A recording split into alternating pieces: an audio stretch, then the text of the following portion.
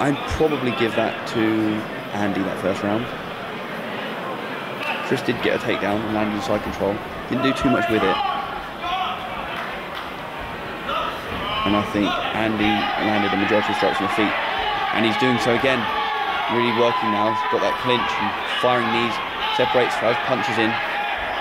Looks like he's really found his rhythm here. And Chris pulls Andy to the ground to try and, and get and get him onto the mat.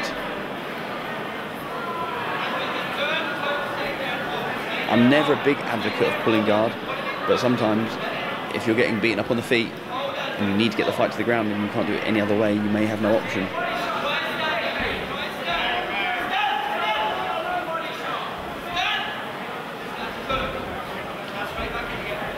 Andy backing out the guard. Ex executing his game plan really well now, keeping his, his uh, striking barrage up. Really good with his distancing. Separates to just the right point to land the punches and the kicks. Comes straight back in again on the clinch to fire the knees.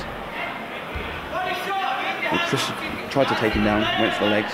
Andy's pulled again. Now he's got the side control firing knees to the body.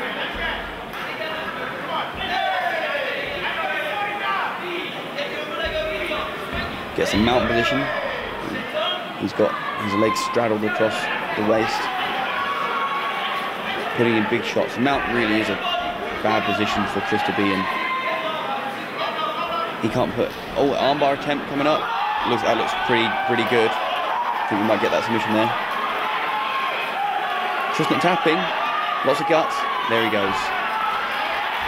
His arm's going to be a bit sore tomorrow. Good fight from both guys. Andy a little bit sharper.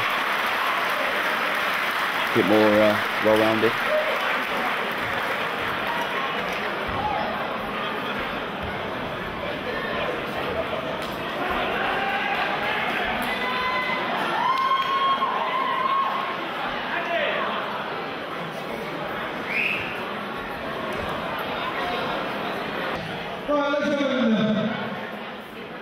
In 1 minute 51 seconds of round